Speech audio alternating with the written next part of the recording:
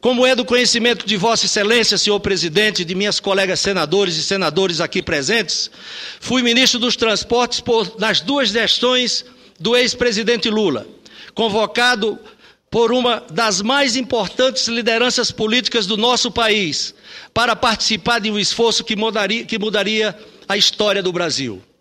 Aliado de primeira hora do nosso ex-presidente em 2002, acreditei no seu projeto e aceitei colaborar com seu governo.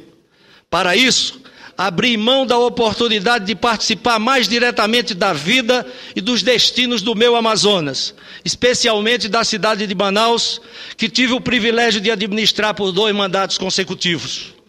Deixei a prefeitura no último ano de meu segundo mandato, numa gestão vitoriosa e bem avaliada pela população convocada a oferecer minha experiência ao povo, ao povo brasileiro em um setor notadamente marcado por deficiências gerenciais, baixo desempenho e corrupção.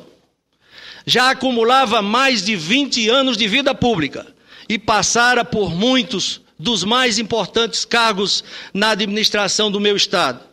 Vir para Brasília foi um desafio para mim e, sob a liderança de Lula, conduzi o Ministério dos Transportes por quase seis anos e meio, com a dedicação exclusiva.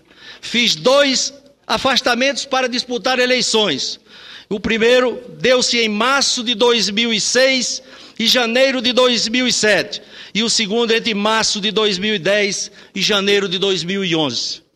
Em minha primeira gestão, Colaborei no esforço de ampliar o volume de recursos para investimentos e criar um programa sustentado de intervenções no setor de transportes. Naquele tempo, a pasta não dispunha de projetos e acumulava pagamentos pendentes. Não tinha credibilidade. Com o apoio de toda a equipe do Ministério dos Transportes e respeitando as prerrogativas de cada dirigente, pude, re...